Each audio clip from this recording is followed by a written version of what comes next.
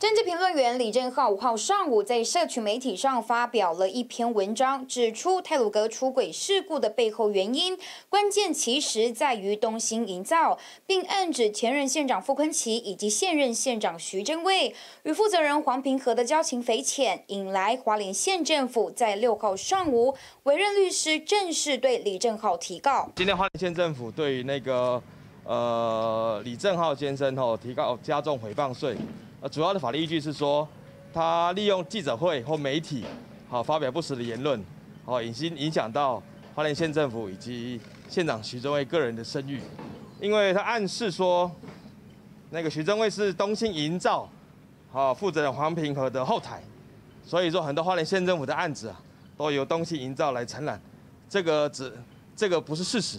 对于花莲县政府的提告，李正浩回应这一切都是心虚而起，同时也希望能借此翻转营造业层层包庇的文化。我认为是政治人物对于心虚的极致表现啊。简单讲，我其实并没有说他们呃互相私相授受什么东西，我只是说你跟黄平和关系很好，你紧张什么？我的下一步其实分两步，因为在政治上我陆陆续续还是手上有些资料，我会持续去追踪这个案件。原因很简单哦，其实会发生这种公共安全事务的话，其实坦白说，你抓了一个李义祥，还有千千万万万个李义祥，内部的核心是大包包、中包、中包包包小包的营造业的文化的问题。你不把这个文化去揭露出来的话，永远会有下个悲剧发生。目前相关案件已交由华联地院受理，接着下来就交由司法来判定。只是政治评论在网络上持续发酵，华联县府又该如何收拾？有线新闻人士许家荣台北市采访报道。